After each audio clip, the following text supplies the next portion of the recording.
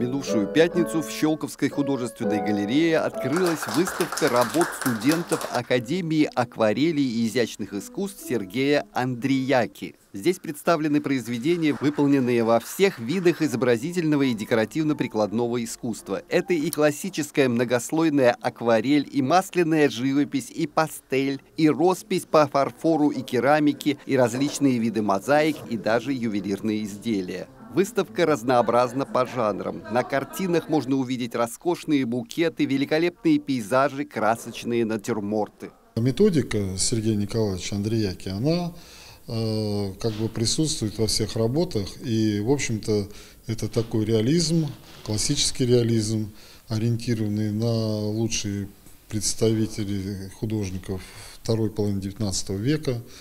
А, вот, советского периода. Организаторы выставки рассказали, что работы студентов Академии акварели и изящных искусств создавались также и под руководством преподавателей, которые ранее заканчивали Академию, а теперь сами являются действующими художниками, участниками многих выставочных проектов. Здесь э, представлено около 70 работ студентов. Э, знаковая работа это вот, э, например, Алексей Писаренко, он работа вот такая индустриальная.